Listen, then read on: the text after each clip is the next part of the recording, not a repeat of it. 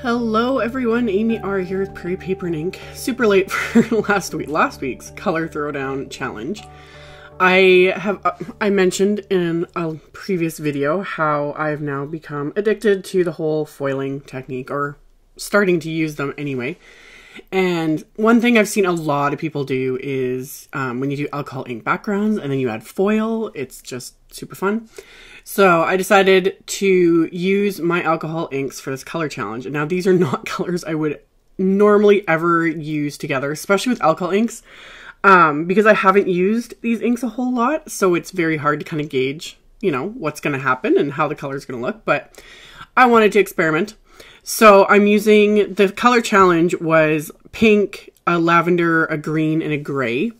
So I'm literally dropping all these, all these colors onto a piece of Yupo paper.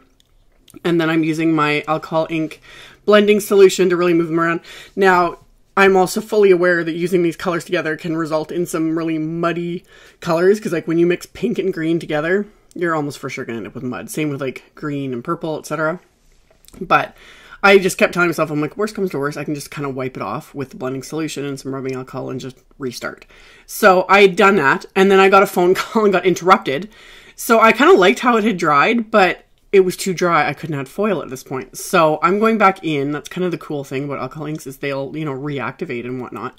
So after I got off the phone, came back, realized everything was dry, I just dropped the colors back on there. I was kind of trying to keep similar colors, like dropping similar colors on similar areas. So like the green on top of the green, the pink on top of the pink, etc.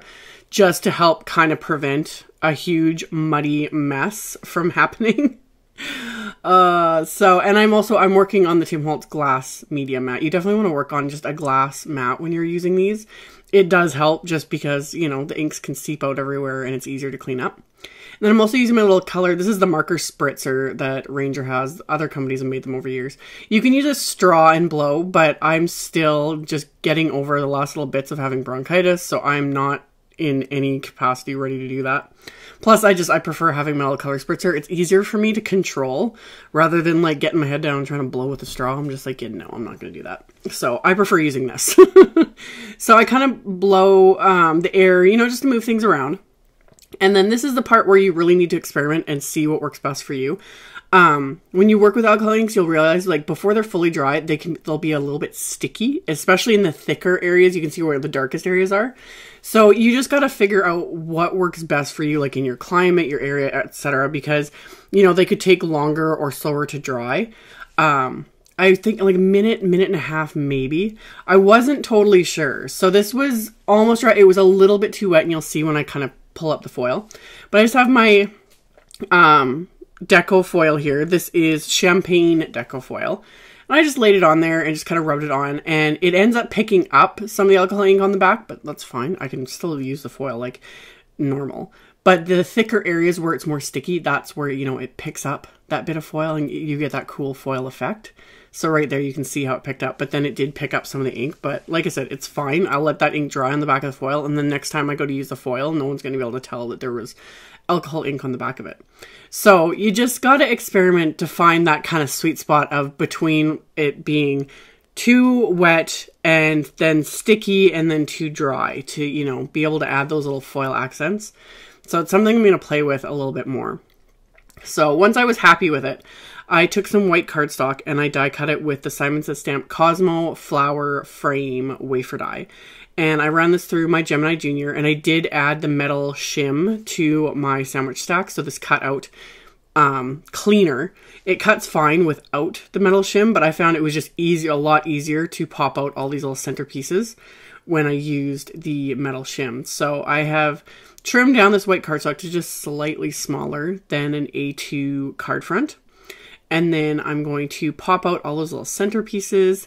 So now I've got this great outline of this flower and it's just gorgeous. I have had this sitting, literally sitting beside my desk now for weeks, meaning to use it.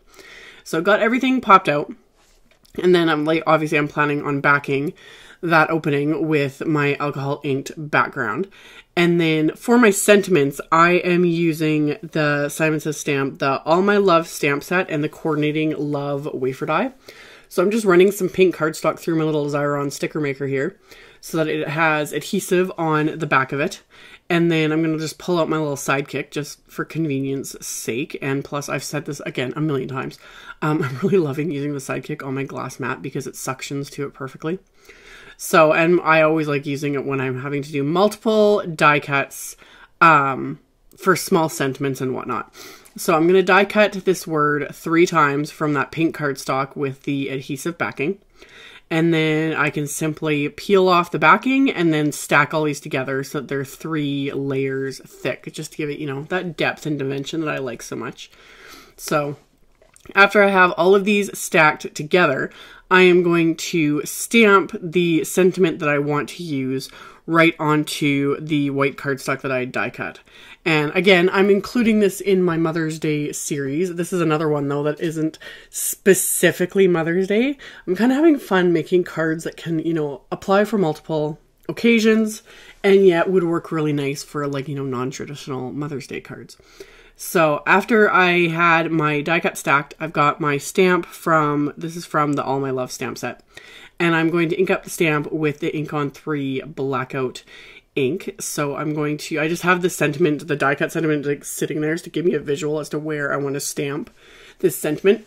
And then I can stamp that on the background. And then I can, um, I'm going to trim down that alcohol ink background. And since it's so big, because I used a full sheet of Yupo paper, um, the remainder I can either fiddle with or clean off and reuse or just use that piece on another project, you know, whatever works. Um, paper is definitely not cheap. So I always save all my little pieces either to use for other projects or I'll add other colors to it and, you know, turn it into something completely different. So I have got my card base with heavyweight white cardstock cut to four and a quarter by um, 11 and then scored at five and a half. So it'll be a top folding A2 size card. And then my alcohol ink background, I was, I'm trimming down so that I can adhere it to my card base and have the areas that I want kind of peeking out. And obviously, I want the foiled areas to be prominent so that you can see that gorgeous shine on it. So the alcohol ink background, I'm just going to adhere flat to my card base, and I'm just going to use my little Xyron tape runner. It's a little funny using tape runners on the back of Yupo paper because it's not paper, it's actually like a form of plastic. So sometimes tape runners don't really want to play well with that, but I find tape runners is one of the best adhesives to really adhere that down. So I use that, adhered it to my card base, and then the frame, I use foam tape to pop all around the edges of it, just to pop it up and give it that extra little bit of dimension since this is a fairly clean and simple card. So I just went around the top and the bottom and the sides with some scotch foam tape here. And then I can line this up onto my card base and have it all centered. If you wanted, you could easily, like, I could have backed that with acetate and turned this into a shaker card, which would have been nice. But I decided I just wanted the focus more to be that alcohol ink background and the foil and keep things a little bit simpler this time. But making it into a shaker would have been really easy. So I've got my card front adhered to the card base. So now I can just peel off the backing of this sentiment and adhere that into place. And then once I have that done, um, I have to finish off the inside, of course. So I had pulled out the Loving Heart stamp set. This came out, it was like last year or something like that. I think it was in one of the kits. Anyway, it's still available, but it's one of my favorite sets. So I pulled that out and I've got one of the sentiments from the set and I'm going to stamp that with that same blackout ink into the inside of my card. And then there's all these different little hearts in the stamp set as well. So I decided to stamp those with the pink ink just to kind of tie it all together. So I've got a bunch of them on acrylic blocks and I just found a pink ink that went really nicely with that cotton candy cardstock that I used for the sentiment on the front of the card. So I'm just going to keep inking up these hearts and just kind of stamping little clusters of them all around on the inside of the card. And once that is done, this card is finished. So as always, I will have links below the video to my blog post. I'll have links to all the supplies used. I'll have a link to the color challenge. There's still a little bit of time left to play if you're watching this today. Um, otherwise, there'll be a new one. We always have a new one every Wednesday. So all that info will be in my blog post, which is linked below the video. And thank you all so much for watching, subscribing, and thumbs upping, and commenting on my videos. I really appreciate it. And I will see you all very soon in the next one. Bye!